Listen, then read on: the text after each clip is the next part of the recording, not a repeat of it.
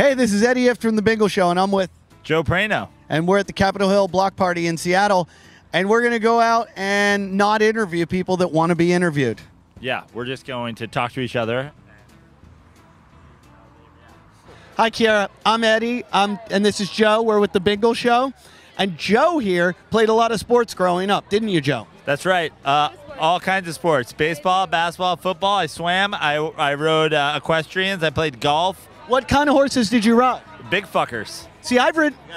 Big You fuckers. know, I You know. horses and like that's weird. 'cause That's good. When I was a kid, I used to go to the carousel and pretend to ride horses, but it wasn't really riding horses. But I'll tell you what it did. It gave me the love of the pole. he doesn't even realize we're ignoring him too. Yeah. He's just walked into it. So we're just going to keep talking.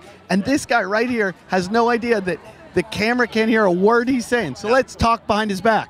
Yeah, the Pacific Northwest not big on microphones. My favorite Halloween outfit.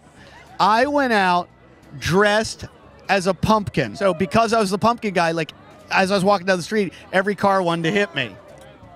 Right. Yeah, I, I can see that. I when I was a kid, uh, and I don't know what reminded me of this, but I used to love that movie Puff the Magic Dragon. Now Puff was the one they had that song, Puff the Magic Dragon that lives beneath.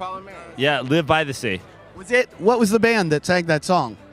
Uh, I don't know. Led Zeppelin. I don't remember either. But what we wanted to do tonight, we wanted to go around, we wanted to interview people because we've seen a lot of people in different outfits. Have you seen anyone in, in like a crazy Halloween outfit? Yeah, I saw a girl over there before. She was dressed as a bear. Oh, let's go interview her. Yeah. Okay. How's this going? Is this going well? Am I a good guest? I don't want to be a part of this. You don't want to be a part of This of is fake news. You're fake news.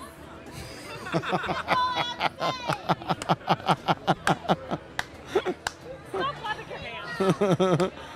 You're a bunch of fucking assholes. Okay, Joe. Yes. You used to be a male cheerleader. I was. You were a male cheerleader. Wait, Three of us. let me ask you. Bunch of fucking dicks.